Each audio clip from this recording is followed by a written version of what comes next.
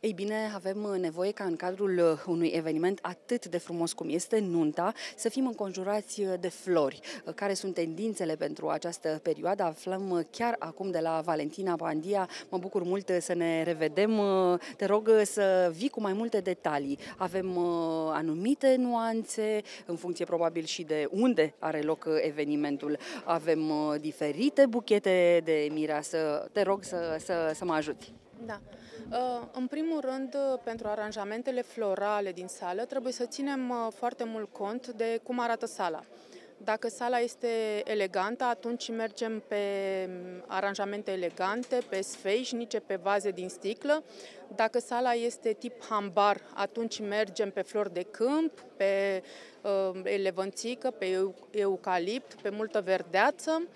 Uh, dar este foarte important să ținem cont de sală. Uh, este foarte important uh, pentru buchetul de mireasă să ținem cont de mm, rochia ei, uh, dacă are o rochie plină de dantelă, încărcată, cu perle, cu foarte multă broderie, buchetul trebuie să fie cât mai simplu. Dacă are o rochie simplă, buchetul este bine să fie puțin mai încărcat, mai bogat, depinde foarte mult de statura miresei. Dacă este o mireasă înaltă, trebuie un buchet mai mare. Dacă este o mireasă scundă, trebuie un buchet mai micuț.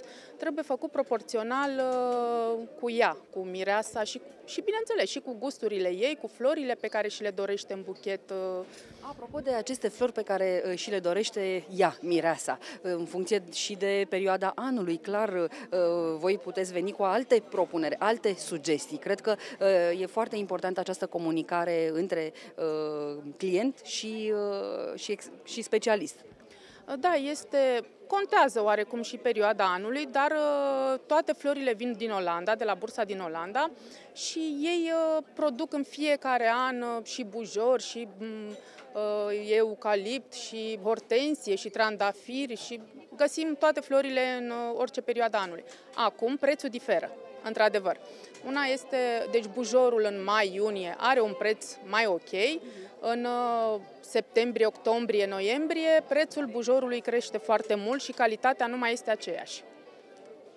Clar, uh, astea sunt uh, niște lucruri așa pe care și le schițează acolo în minte tinerii care clar își doresc ca nunta lor să fie așa, de vis. Um, apropo de, de culori, la fel, uh, pentru că au fost perioade, nu știu, foarte mult s-a mers pe alb, altă dată au fost, uh, dacă ne raportăm la acele zone mm, mai tradiționale, de ce nu și cu floarea soarelui. Uh, și aici cred că sunt, sunt niște discuții în prealabil.